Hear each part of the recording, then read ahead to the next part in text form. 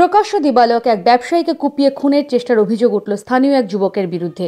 বৃহস্পতিবার এই ঘটনাটি ঘটেছে জগদ্দল থানা রাতপুর বাজারে। অভিযোগ এদিন বেলায় কাপড় ব্যবসায়ী যুবক মনোজ ধরের অতর্কিতে ব্লেড দিয়ে হামলা চালায় জয়প্রকাশ শাহ নামে এক যুবক। এলোপাথারি মনোজের মুখে বুকে, হাতেও পিঠে আঘাত করে জয়প্রকাশ। আশেপাশের দোকানদাররা এসে মনোজকে বাঁচায়। খবর পেয়ে পুলিশ এসে উন্মত্ত যুবককে ভাটপাড়া স্টেট জেনারেল হাসপাতালে নিয়ে যায়। পুলিশের দাবি, অভিযুক্ত যুবক সাইকো রোগী। এখন বক্তব্য হচ্ছে যে মেরেছে, সে কি কারণে মেরেছে, সেটা আপাতত আপাতত এখনও অস্পষ্ট। ঘটনাচক্র যেটা হয়েছে, আমরা একটা বন্ধু বান্ধব একটা টিম যে মেরেছে সেও আমাদের বন্ধু বান্ধবেরই ছেলে।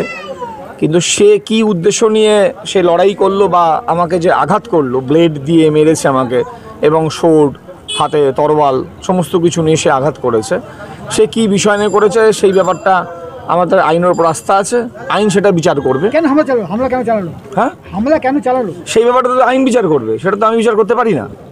কারণটা আমি সেই কারণটাও তো আইন বিচার করবে। না তুই জিজ্ঞেস করতে গেলি না না না আমি জাস্ট যেটা হয়েছিল আমি আগেও বলেছিলাম যে প্রথমে বৃহস্পতিবার আমরা ঘুরতে গিয়েছিলাম একটা জায়গাতে। সেইখানে একটা ফোন ও গেছিল? না ও যায়নি। ও আমার বন্ধুর ছেলে। বন্ধু কি করে তার ফোন সেখানে রেখে গিয়েছিল। এবার সেই ফোন থেকে বারংবার ফোন আসছে ফোন আসতে আসতে আমার এক বন্ধু বলেছে ফোনটা রাখ আমরা একটা ঘুরতে এসেছি তুই কেন ডিস্টারবেন্স করছিস? তখন সেই পরিপ্রেক্ষিতে সে গালাগালি থ্রোয়িং করে। সেই গালাগালি থ্রোয়িং করাতে আমরা ডিস্টারবেন্স হয়ে যায় আমরা সুইচ অফ করে। দিই। তারপরে- ফোনটা যেই বন্ধুর ছেলে সেই বন্ধু কি করেছিল? ফোনটা বাড়িতে রেখে এসেছিল। এইবার সুইচ অফ করে দিই। সুইচ অফ করার পরে কি হচ্ছে? আর কোনো কথাবার্তা নেই। তখন কি হচ্ছে? সুশান্ত পাল মানিক বসাক তরুণ দাস তাদের বাড়িতে গিয়ে ছুরি ফুরি নিয়ে তাদের বাড়িতে গিয়ে হামলা করে। কে করেছিল? ওই ছেলেটি যে আজকে আমাকে এটা করেছে। তার নাম হচ্ছে জয়প্রকাশ শাহ। জয়প্রকাশ শাহ। বাবার নাম জগলাল শাহ।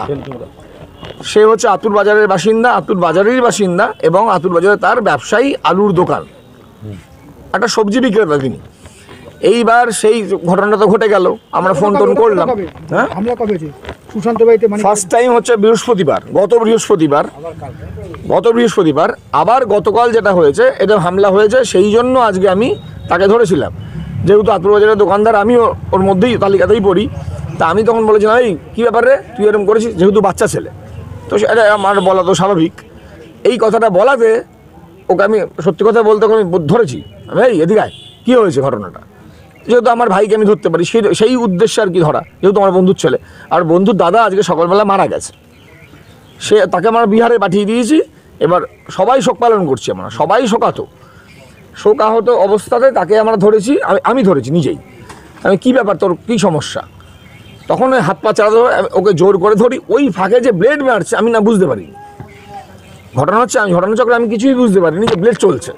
তখন আমার বন্ধু দূর থেকে বলছে, তোর মুখ থেকে ব্লাড বেরোচ্ছে। আমি কী ব্যাপার, কী বলছিস?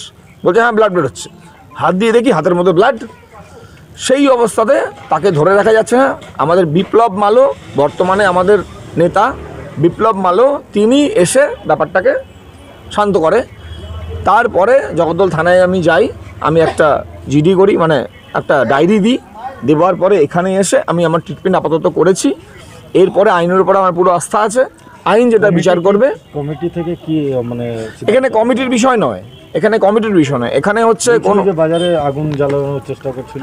ও হ্যাঁ এই বিষয়তে যদি আসি আমি এইবার এই এই এইখানে আমার এই ব্যাপারটা শেষ হলো। এইবার কি হয়েছে যখন পুলিশকে আমি ফোন করেছি যে পুলিশ আমাকে ফোন করেছিল যে কোথায় আছেন আপনারা? তাই আমি রাতুর বাজারেই আছি। তখন সেই ছেলেটা কি করেছে তার দোকান থেকে বেরিয়েছে।